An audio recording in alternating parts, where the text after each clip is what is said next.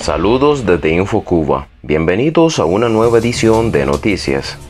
Hubo más de 360 protestas en agosto del 2022 según el Observatorio Cubano de Conflictos. Este pasado jueves, el Observatorio Cubano de Conflictos informó que en la isla hubo más de 360 protestas en agosto del 2022.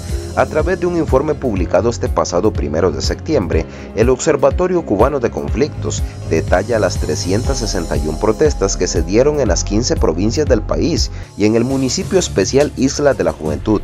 De las 361 protestas en agosto, 219 fueron por derechos políticos y civiles, que representa el 61%, y 142 de derechos económicos y sociales, que representan el 39%.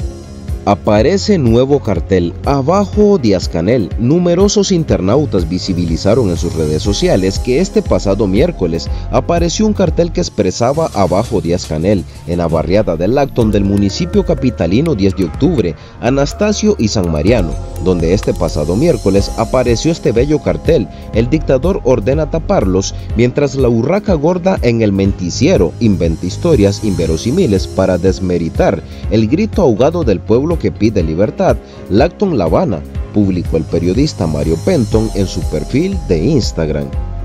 Mientras Cuba agoniza, la dictadura convoca eventos sobre posible existencia de vida extraterrestre y publicaciones teóricas de izquierda. Mientras Cuba agoniza en medio de una crisis generalizada, el castrismo anuncia eventos teóricos sobre temas intranscendentes.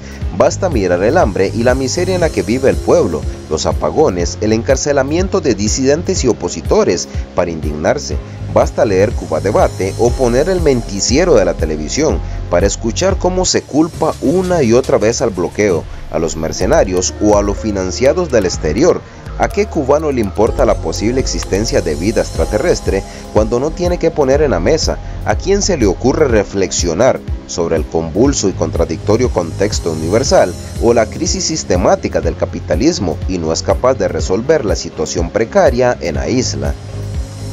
Organización condena la persecución del régimen hacia los periodistas cubanos. La organización Artículo 19 condena la persecución que la dictadura castrista ha desatado en contra de los periodistas cubanos. La organización lleva varios años al pendiente de las intimidaciones del régimen en contra de los periodistas.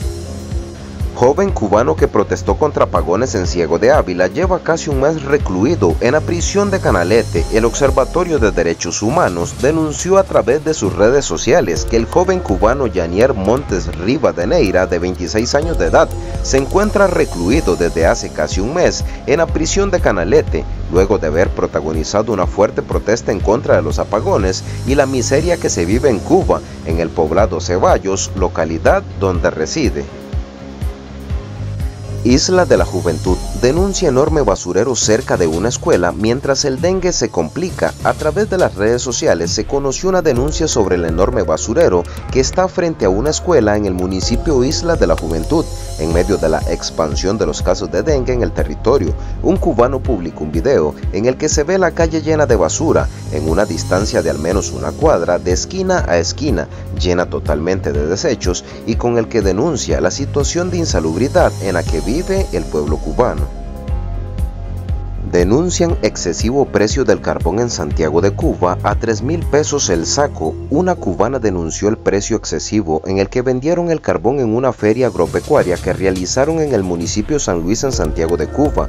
En la actividad vendieron sacos de carbón pero en 3 mil pesos, una cantidad inalcanzable para los cubanos que el salario no les alcanza para comprar los alimentos y que además necesitan el carbón en medio de la crisis energética porque les toca cocinar a la leña.